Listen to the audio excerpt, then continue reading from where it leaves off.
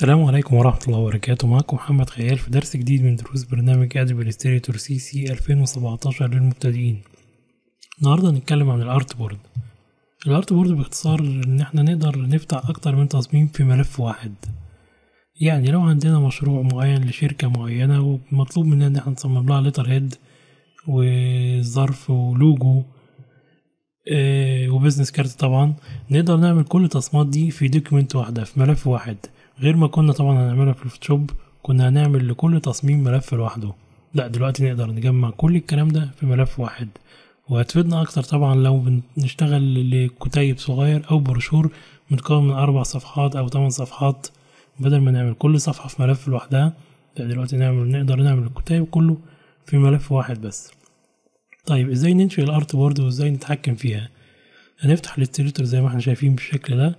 هنروح لقائمة file. بعدين new أو اختصارها زي ما تعودنا control N هنا عندنا ال art board الافتراضية واحدة بس عندنا واحدة art board فاحنا دلوقتي مثلا سي هنشتغل letterhead و business card وظرف فمحتاجين دلوقتي أربعة art board تمام؟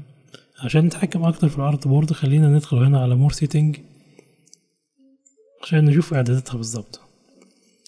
طبعا هنا عندنا بيقول لي number of art board كم عدد ال art board اللي انت عايز تدخلها في الملف الواحد؟ طبعا هو دلوقتي الطبيعي بتاعه بيبقى art board واحدة. إحنا زي ما اتفقنا هنخليهم أربعة art board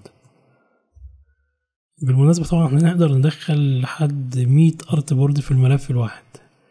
طيب لو تلاحظوا هنا أول ما زودنا عن رقم واحد ظهرت بدأت تظهر الإعدادات دي أو تنشط. ما كانتش موجودة لما كان ال art board عندنا واحد بس. طيب الإعدادات دي إيه معناها؟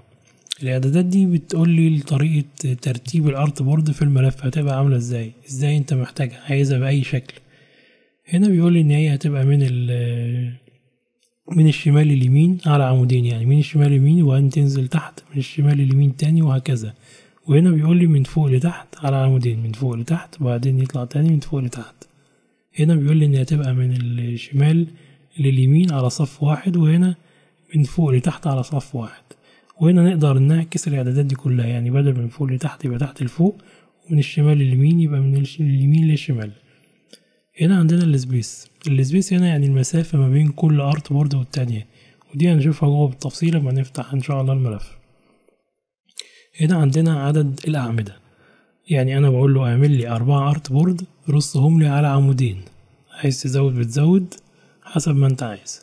هنا عندنا ال size بتاعنا بنختاره ونخليه A4 زي ما إحنا. وبعدين بنقول له create document.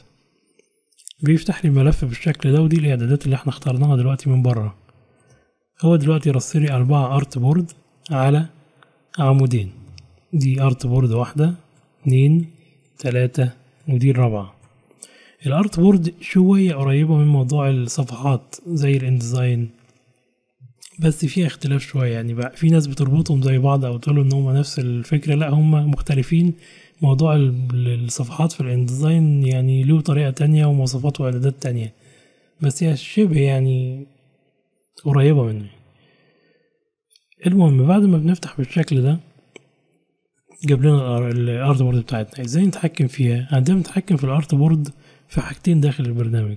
اولا من document setup هنا بنضغط عليها بعدين edit artboard يبتدي يتحكم معانا في كل artboard زي ما إحنا عايزين. الحاجة التانية واللي أنا بفضلها وهي أداة مهمة جدا ال artboard tool واختصارها shift و O لو ضغطنا عليها بيحدد لي ال artboard دي. أقدر طبعا أتنقل ما بينهم زي ما أنا عايز بمجرد بالضغط بالماوس على ال artboard اللي أنا عايزها. لو عايز دي أضغط عليها دي أضغط عليها بالشكل ده. طيب إزاي بعرف إن أنا عامل select أو واقف على ال artboard لو تلاحظ وأنا واقف عليها في خطوط رفيعة متقطعة أهي. دي معناها إن أنا عامل select على ال artboard دي يعني أي أمر هعمله هيتنفذ على ال artboard دي فقط لا غير ملوش دعوة بالباقي.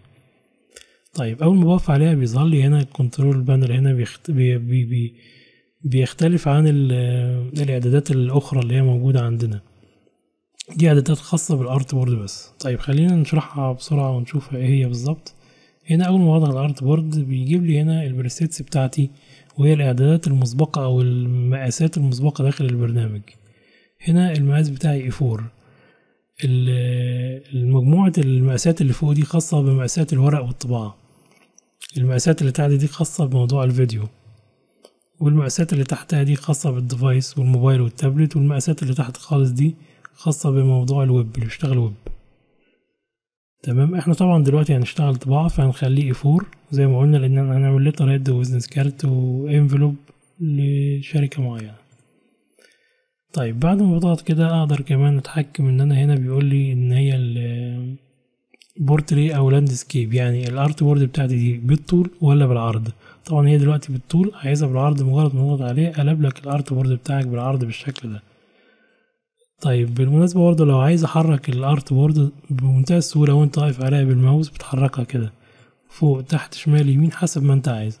تقدر كمان تمسحها أو تعمل لها delete إحنا دلوقتي كنا مختارين أربعة طبعا عايزينهم دلوقتي تلاتة. مجرد ما تعمل select على ال artboard اللي أنت عايزها تضغط delete من ال keyboard. خلاص اتمسحت معاك. بقى عندك بس تلاتة artboard عندنا كمان الأيقونة التانية عندنا اللي هي new artboard لو ضغطنا عليها أول ما نضغط عليها لو تلاحظ هو بيعمل لي new artboard كده افتراضية بتبقى موجودة شكلها معايا في الماوس زي ما إحنا شايفين.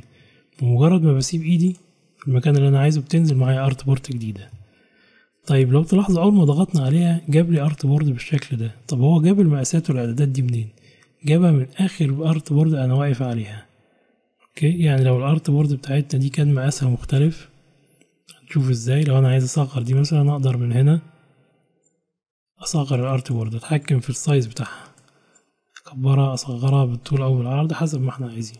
لو دي مقاسها بالشكل ده وجينا ضغطنا على new جاب لي إعدادات اللي هتنشئ جديدة معايا ال artboard الجديدة بنفس الإعدادات القديمة اللي أنا كنت واقف عليها. okay؟ بالشكل ده. طبعا هنا عندنا زرار ال delete لو عايز تعمل delete لل artboard زي ما قلنا من هنا أو من ال keyboard بيمسح لك ال artboard كده إحنا بقى عندنا artboard واحدة في الملف. طبعا عن طريق ال hand هنا بالمسطرة من ال keyboard أقدر أتحكم إن أنا احرك بس للرؤية مش بتحرك ال artboard طيب كده عندنا ال artboard دي اللي موجودة عندنا الواحدة اللي في الملف دلوقتي. هنا عندنا كمان اسم ال artboard إزاي أسميها؟ يعني لو افترضنا إن إحنا زي ما قلنا عايزين نعمل إن ده هتبقى ال letterhead بتاع الشركة نقدر نكتب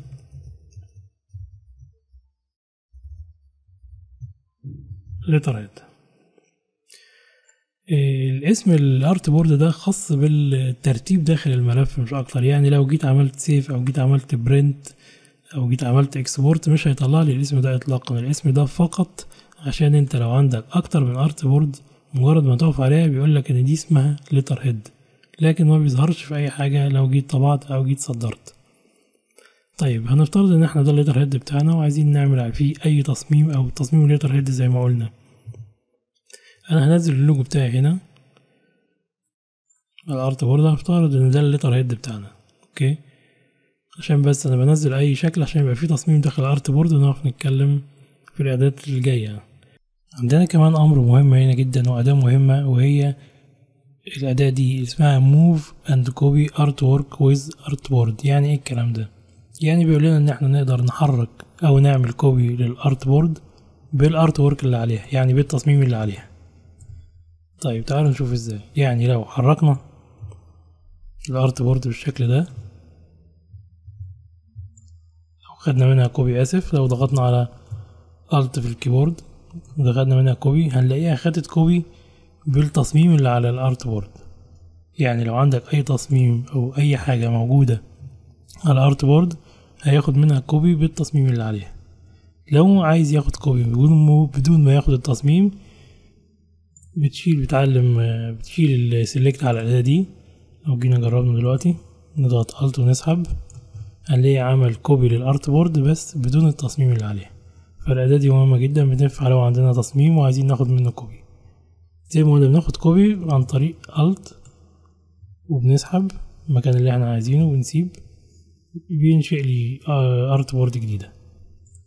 طيب خلاص دلوقتي إحنا عملنا letterhead زي ما عملنا زي ما جربنا. هنعمل دلوقتي عايزين نعمل ال business card طيب إزاي؟ مجرد ما نيجي على ال artboard هنا ممكن في أي مكان تقف فيه في أي مكان فاضي وبإيدك بالماوس تنشئ أهو artboard جديدة. بس طبعا ال artboard دي إحنا عايزين نحددها بالمقاس بالظبط. يعني دلوقتي عملناها يدوي فمش عارف مقاسها هيبقى إيه. أنا عايز مقاس ال business card اللي هو تسعة في خمسة أو تسعة في خمسة ونص. بعد ما بنعلم عليها كده ننشئ ال artboard بنيجي هنا عندنا ده العرض وده الارتفاع. طبعا نخليه تسعة في خمسة. Enter دلوقتي عمل لنا تسعة في خمسة artboard جديدة. هناخد منها Alt نسحب لتحت ونسيب إيدينا مع الماوس عمل لي artboard جديدة. نفس المقاس طبعا. القديم. نفس اخر مقاس إحنا وقفنا عليه. عشان ده يبقى وش ال business card وده ظهر ال business card خلينا هنا أنا كنت عامل وش قبل كده للكارت وليكن ده. تمام؟ كنت برضه محضر ده قبل كده عشان الوقت. هناخده هنحطه هنا كده. بعمل بس copy و paste يبقى ده عندنا الوش والظهر بتاع ال business card عايزين كمان نعمل envelope نفس الموضوع. هنقف نعمل select بتبتدي تنشئ artboard جديدة. أو ممكن تقف على ال artboard دي Alt ونسحب عمل لي artboard جديدة. بس عايزينها بمقاس ال envelope اللي هو اتنين وعشرين في حداشر. تمام؟ وليكن هيبقى شكله كده. أحط مثلا فيه اللوجو هنا. والبيانات دي تحت هنا مثلا كده. وليكن حاجة سريعة. يبقى عندنا دلوقتي ال letterhead ال business card الوش ال business card الظهر وال envelope طيب عايزين بقى نسمي ال artboard دي عشان نبقى عارفين لما نيجي نعمل export أو نيجي نطبع نبقى عارفين إحنا بنعمل إيه. زي ما قلنا هنقف هنا ونقف على ال artboard دي. دي إحنا already عايزين نسميها letterhead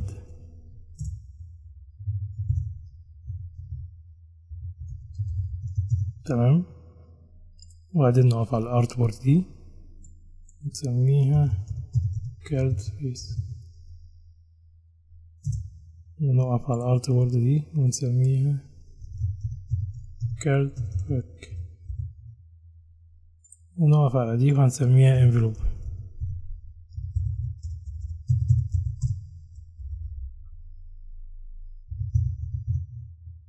وليكن كده. تمام؟ طيب إحنا ليه سمينا ال artboard بالشكل ده؟ ما هو الموضوع عندنا كويس اهو معروف. الكلام ده عشان أنت لو جيت تصدر عايز تصدر كل ملف كل artboard لوحده. يبقى ملف لوحده صورة JPG لوحدها. فيصدره لك عشان تبقى عارف اسمه إيه. أو لو جيت بعت الملف ده للمطبعة أو اديته لحد أي شخص هيفتح على ال Illustrator ويقف مجرد على ال artboard يبقى عارف إيه اللي أنت شغال فيه. أول ما يقف عليه عارف إن دي letterhead يقف هنا عارف إن ده وش ال business card ده envelope بدل ما يبقاش عارف إيه ده هل دي لوحة هل دي sticker ما عندوش فكرة إيه ده. فده ببساطة موضوع تسمية ال artboard سهل جدا. هيفيدنا كمان في موضوع تصدير ال export يعني لو جينا دلوقتي عملنا export نختار ال desktop هنا ونخليه مثلا JP. بصوا ركزوا معايا في الحتة دي. دلوقتي إحنا هنعمل artboard للملف ده تمام؟ هنعمل export بالشكل ده. الإعدادات دي هنتكلم فيها فيما بعد بس نعمل له okay دلوقتي. نروح على ال desktop إحنا سيفناه على ال desktop. بص الملف ما يفتح فتح بالشكل ده. طبعا الحاجات داخلة كلها في بعضها. ال letter head مع الكروت مع ال envelope كله داخل في بعضه ومفيش أي حاجة مفهومة. فعشان كده لما نيجي نصدر خلينا نمسح ده. لما نيجي نعمل export لأي art board خلي بالك من أمر مهم جدا. وأنت بتعمل export علم على use art board. تمام؟ شوف أما علمنا عليه بدأت الإعدادات اللي تحت تنشط. هنا بيقول لي هل عايز تصدر all كل ال art board اللي في الملف ولا عايز تحدد أو تختار art board معينة؟ لو عايز تختار art board معينة دلوقتي هو عندنا أربعة art board. هو هيصدر من واحد لأربعة. لو عايز تختار art board معينة وليكن واحد لاتنين. هو هنا هيصدر من واحد dash اتنين يعني ال art board واحد و art board اتنين. طيب بصوا الحتة دي برضه لو عايز أخد واحد واتنين وأربعة وتلاتة مش عايز أخدها. يبقى واحد dash اتنين بعدين comma تلاتة إيه comma أربعة. يبقى هو هنا هيصدر واحد واتنين وتلاتة مش هياخدها معانا وهيصدر لنا أربعة. تمام؟ إحنا هنا دلوقتي هنقول له all وبعدين نقول له export. نفس الموضوع. okay. نطلع ال desktop. لاحظوا هنا الموضوع اختلف عن الأول. هنا طلع لي كل حاجة لوحديها. دي letter head untitled طبعا اسم الملف اللي أنا سجلته. هنا card face هنا ال back هنا ال envelope كل ملف بقى لوحده. فلما بنيجي أهو زي ما إحنا شايفين. كل ملف طلع لوحده غير الأول كان كل ال art board في ملف واحد. بس ده باختصار موضوع ال export وموضوع التسمية. تابعوني في الدرس الجاي عشان هنتكلم أكتر عن ال art board السلام عليكم ورحمة الله وبركاته.